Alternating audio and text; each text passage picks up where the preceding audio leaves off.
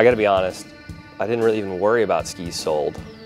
I know people probably don't want to hear that, but my goal was always to, I wanted to change skiing. I wanted to try and make that ski that changed the game. Dave is willing to take risks. He's, he's willing to fail to ultimately be successful.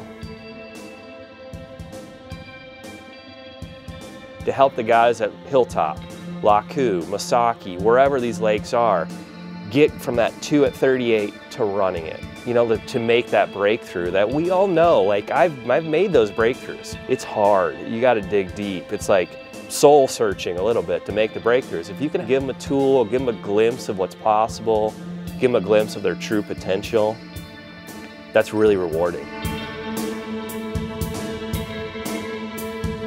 For 2017, we have two high-end skis. We have V-Type R and V-Type X.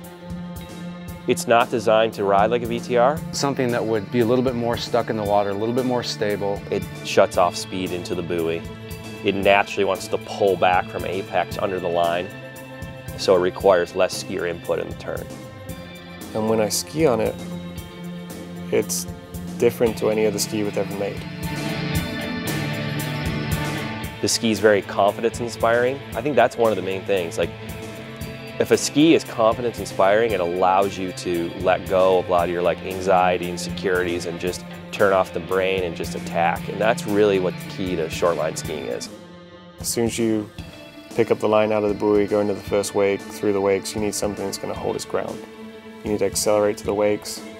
You need to be strong. You need to have a platform. You need to have something where you feel like you can get your hips aligned, take the pull, carry it out off, off the wakes and it does that.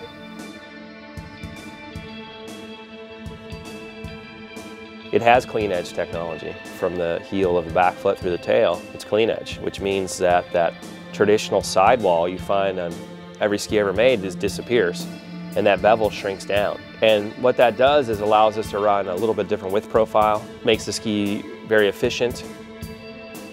The second main element on these skis, we're, we're trying to take away anything that's not needed. And as a result of that, you look at the top contouring on the ski and it looks quite a bit different than any ski you've ever seen before. So wherever you have concave on the bottom, the top would be crowned.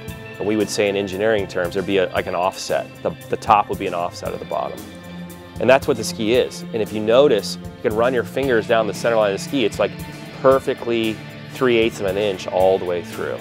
And that's really important to me because there's no excess materials, no excess weight.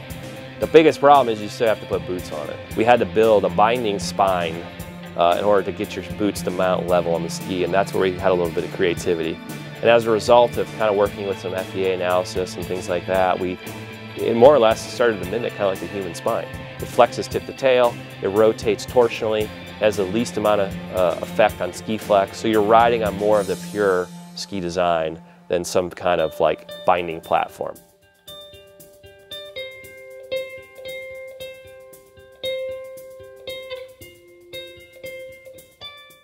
Yeah, something that's new for 17 is we're doing a women's specific V-Type R. And really the reason being is I think that ski has really struck a nerve with a lot of women skiers. It's that ski that rides a little higher in the water, it's super low drag, it's very efficient, and women are very finesse skiers, and a lot of them are drawn to that feel. And we've kind of embraced that. So for this year, we're giving them a women's specific colorway, flex pattern, and sizes in order to really suit the needs of the female skier. When I think about what motivates us at HO or me personally to, to try to do something cool with ski design, it's what Willie and Dave talk about. It's giving people that feeling that I know I've had before and that I know they can have. You develop a new ski, you develop a, a revolutionary ski and it's going to change people's lives on the water and potentially off the water.